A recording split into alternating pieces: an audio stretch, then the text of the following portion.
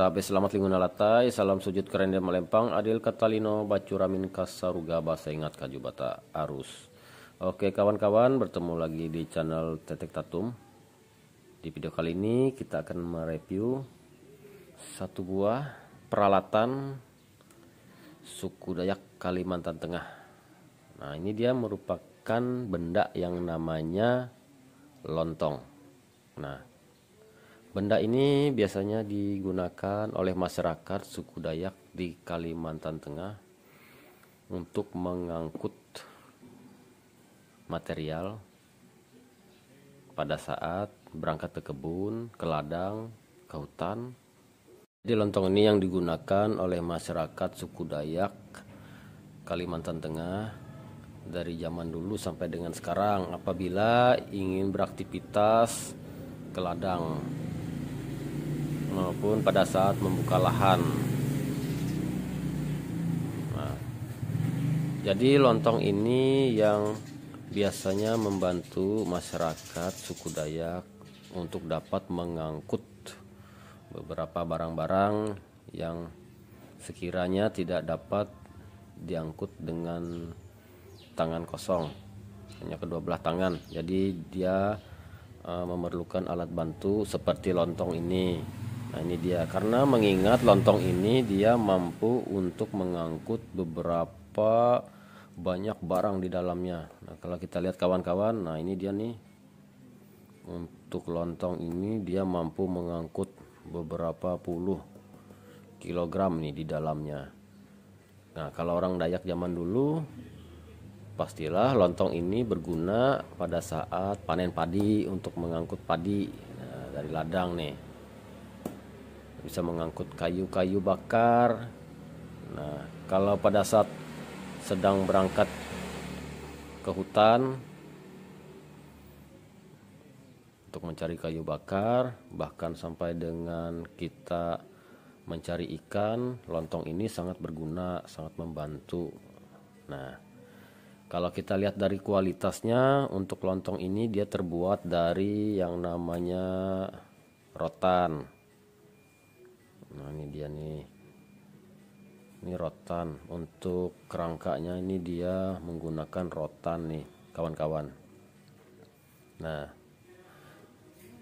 kalau kita lihat di bagian dindingnya ini ini dia menggunakan tali plastik.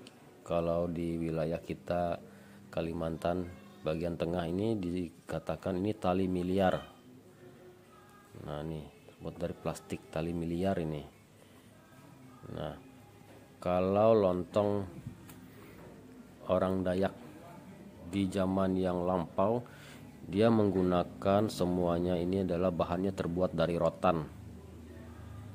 Sampai dengan tali-talinya ini kawan-kawan. Nah ini dia nih. Ini terbuat dari rotan semua. Nah karena sekarang di zaman era modernisasi seperti saat ini bahan-bahan baku yang sekarang kita jumpai sekarang banyak terjadinya pembaharuan. Seperti contohnya seperti tali ini tali miliar ini. Nah ini yang digunakan di zaman sekarang. Nah untuk dapat dikombinasikan dengan kerangkanya rotan ini sehingga menghasilkan lontong yang sangat bagus seperti ini kawan-kawan. Nah ini dia nih. Nah seperti ini lontong. Nah kita akan mencoba uh, melihat bagaimana cara penggunaan dari uh, lontong ini. Nah.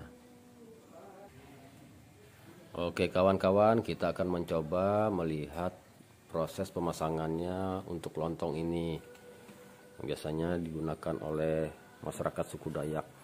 Nah, seperti ini nih kawan-kawan.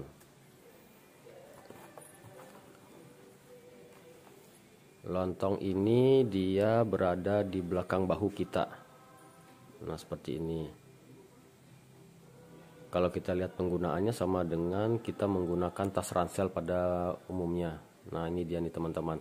Karena dia bersandar pada kedua bahu kita. Nah, jadi seperti ini. Kalau kita lihat di sini nah untuk kelontong ini dia sangat dapat memuat banyak sekali barang di dalamnya nih kawan-kawan. Nah banyak sekali. Kalau kita lihat ini sangat cantik sekali kawan-kawan untuk lontong ini. Kenapa? Karena kalau kita lihat dari anyamannya dia dianyam oleh orang yang sangat sudah profesional sekali nah sangat profesional sekali nih. Karena orang-orang yang dapat membuat lontong seperti ini adalah orang-orang dari generasi yang cukup lama. Dia mempunyai kemampuan dalam hal menganyam mempunyai skill. Nah oke teman-teman mungkin sedikit review kita terhadap alat yang biasanya digunakan oleh masyarakat suku Dayak di wilayah Kalimantan Tengah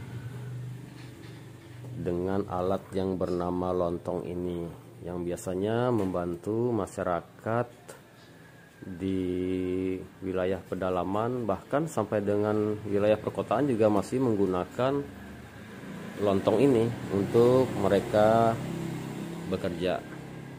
Nah, oke teman-teman, mungkin sampai di sini video kali ini. Jangan lupa sebelumnya di subscribe dulu channel Cetek Tatum supaya bisa terus berkembang di YouTube dan user semakin bersemangat untuk melakukan review maupun explore terhadap benda benda yang ada di wilayah Kalimantan Tengah. Oke, terima kasih. Salam budaya. Just